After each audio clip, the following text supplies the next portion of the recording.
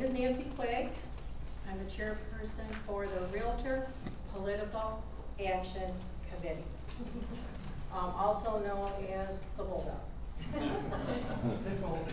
Pitbull, sorry. I missed it. You want money now?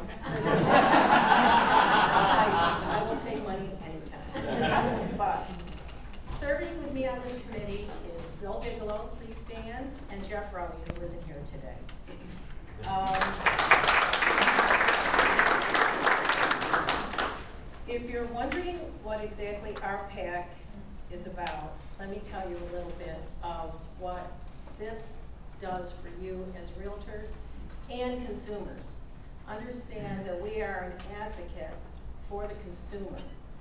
We are the ones who are in front of the legislators to make sure that if there are bills being passed, that they are realtor-friendly and consumer-friendly bills, and not just crazy ideas that try to um, gain momentum.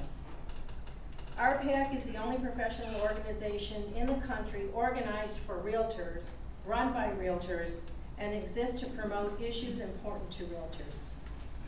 It is the number one trade organization, political action committee in the nation. We are a million strong as realtors, national realtors. RPAC provides financial support to lawmakers and candidates who understand and support private property rights and the real estate industry. RPAC allows realtors to make sure their concerns about real estate issues are heard and understood by political officials. RPAC fundraising goals are set for every realtor organization by the National Association of Realtors. They tell us each year what our goal is. I'm happy to report that as of this month, we have exceeded our RPAC goals.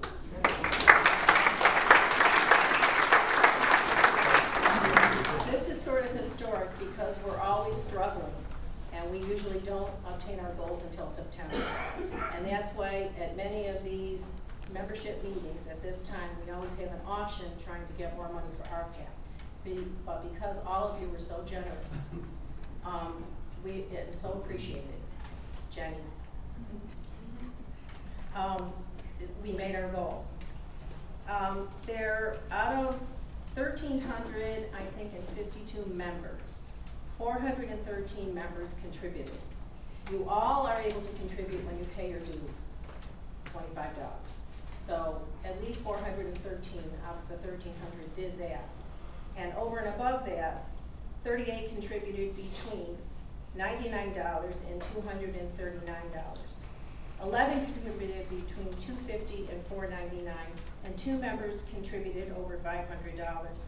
I'd like to represent, or recognize members of the Capital Club. These are members who contributed over two fifty to four ninety-nine. If you could just stand, because we would love to applaud you, and I graciously thank you so much.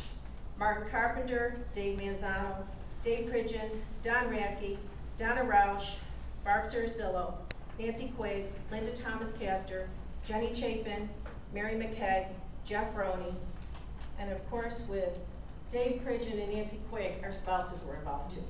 Thank you. Okay, yeah.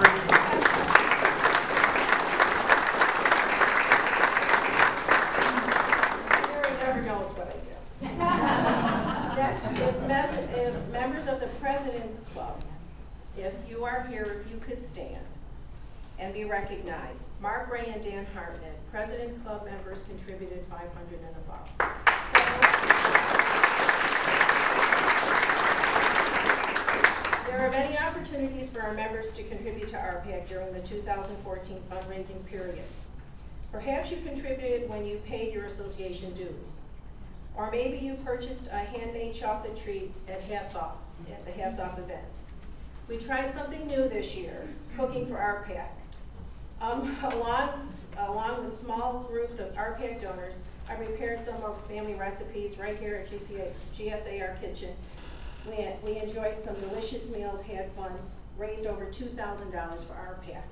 We hope to try to do this every year, maybe do it in February when we're not so busy, but this is something open to many people, potluck, whatever we're gonna do, but it's a great way to sort of, um, have fun while we're raising money. And thank you for everybody who took the time to come to those classes. We had a ball.